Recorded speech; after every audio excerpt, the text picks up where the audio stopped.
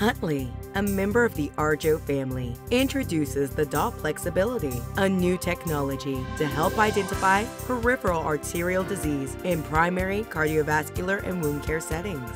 Peripheral arterial disease, also known as PAD, is the narrowing of peripheral arteries, reducing blood flow to the limbs, most commonly the legs. PAD increases the risk of coronary heart disease, heart attack, stroke, and transient ischemic attack. Risk factors for PAD include age 50 or older, diabetes, high blood pressure, and many more. The main symptoms of PAD include numbness of the legs and feet, claudication, or the cramping and aching of the legs while physically active.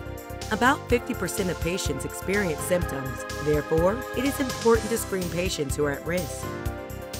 The Dopplex Ability is an automatic ankle brachial screening system that provides easy, fast, and accurate ABI measurements in only three minutes. Simply attach the four patented DuoSense cups and push the start button. The system includes an integrated printer to provide an immediate printout of the results, including waveforms.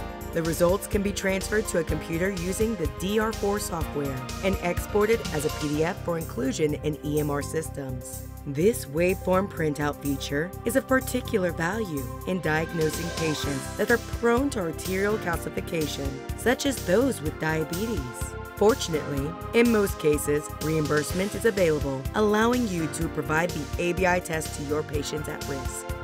The Dopplex Ability is a fast, easy, and cost-effective way to test for peripheral arterial disease.